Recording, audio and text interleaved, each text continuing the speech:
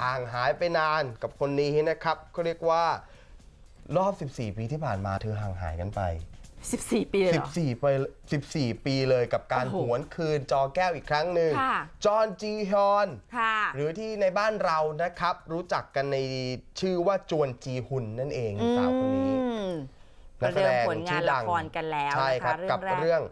Man from the Star ทาง SBS โดยประกบคู่กับพระเอกสุดฮอตอย่างคิมซูฮยอนนั่นเอง ค่ะ ก็ระบุว่าซีรีส์เรื่อง Man from the Stars เนี่ยเป็นผลงานของโปรดิวเซอร์จางแทวูจากเรื่อง Deep Rooted Tree ค่ะครับแล้วก็เป็นผลงานจากนักเขียนที่ชื่อว่าปาร์คจีอึนจากเรื่อง You Who Roll in Unexpectedly เขาบอกว่าละครเรื่องนี้นะว่าด้วยหนุ่มต่างดาว ครับ ออกแนวไซไฟนะจ๊ะ